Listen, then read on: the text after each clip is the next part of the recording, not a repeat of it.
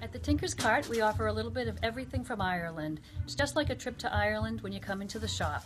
We have clothing, sweaters, we have giftware, fragrances from Ireland, lots of food, candy from Ireland, everything you would find at the airport store, probably.